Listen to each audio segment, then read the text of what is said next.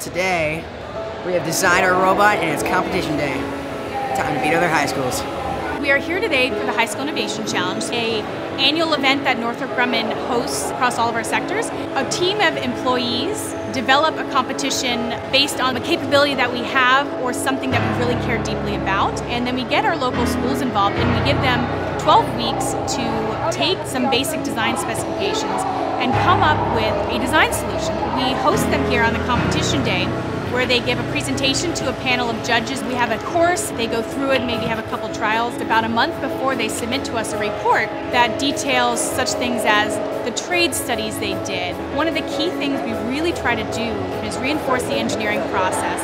You can have a great idea and you can think it's going to work perfectly, but you have to test it. You have to design a couple options. The first thing you think of is not always going to be the best. Um, there might be a cheaper solution, there might be a faster solution, so we encourage them we try to encourage the mentors to work with the schools to have them think that way. The, the real goal is to have students think like engineers. And then, of course, most importantly, you do need to be able to execute your challenge. Uh, Northrop Grumman basically sponsors our whole project, so they provide us with uh, $500, uh, $500 uh, for our budget, and they also provide us with a mentor who kind of guides us and, and aids us uh, along the way. It basically shows that we're thinking about the future.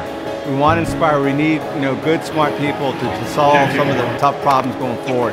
We need that innovation. We need that creativity that, that next generation brings. That new technology mindset they bring. We used uh, three capacitors that were at 2.5 volts each and 10 farads.